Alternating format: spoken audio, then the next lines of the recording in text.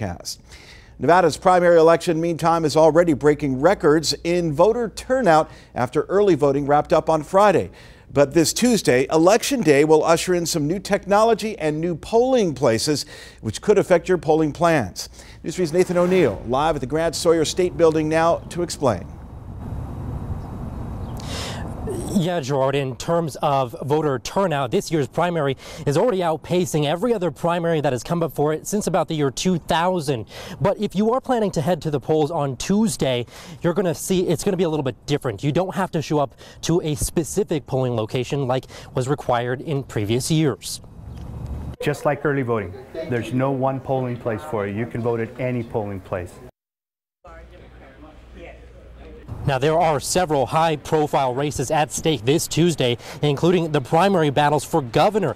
Now, this year, Clark County is also rolling out some new voting machines with bigger touchscreens and more security measures. That's all in place to protect the integrity of the voting process. While the county no longer assigns voting locations to every specific voter, some candidates worry that could throw a curveball at voters and compromise potentially tight races.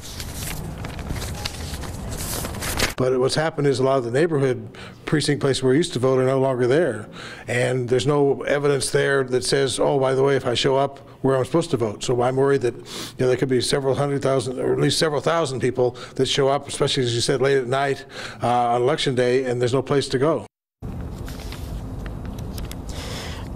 And if you are confused about this, there are about 170 locations that you can go to any one of those sites to vote. And if you have your sample ballot, this map is actually included in that. You can pull it out and look at it and find any one of these red dots and it'll tell you a location that you could potentially choose to go and make your vote on Tuesday. Now coming up later on tonight on News 3, we're going to be diving into the hotly contested governor's race. We'll have much more on that coming up at 11. Reporting live tonight, Nathan O'Neal, News 3.